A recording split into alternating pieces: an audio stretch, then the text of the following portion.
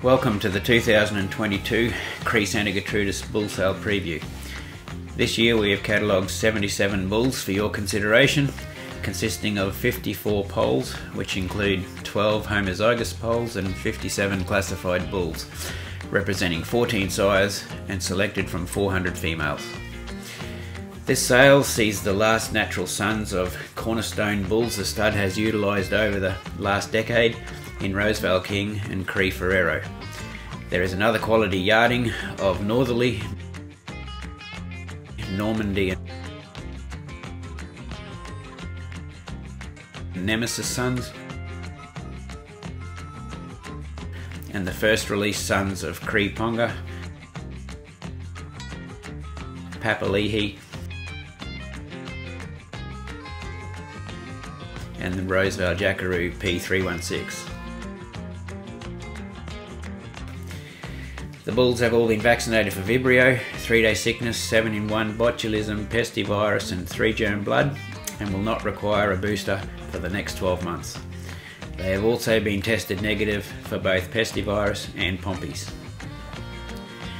This year, the bull breeding soundness evaluation was conducted by Said Wise and morphologies done in laboratory by Tim North and his team at Rocky Repro. The Cree Stud enjoys a 4.5 star rating for performance, which places us in the top 3 Santa Gertrudis studs in Australia. And once again, we have enhanced the EBVs by the genomics evaluation, and this supports our claims of genetic progress. The average Cree saleable this year ranks in the top 20% of the breed for both domestic and export indexes, which is a combination of growth, fertility, and carcass attributes with many of these bulls capable of lifting performance across multiple traits simultaneously. The bulls are prepared in leucaena pastures with a high fibre supplementary ration designed to promote their potential, express their maturity patterns and display their differences without compromising health and longevity.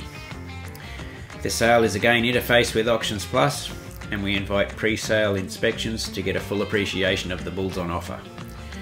We invite you to take a look at Kaya Thangool Tuesday the 30th of August, sale commencing 12 noon.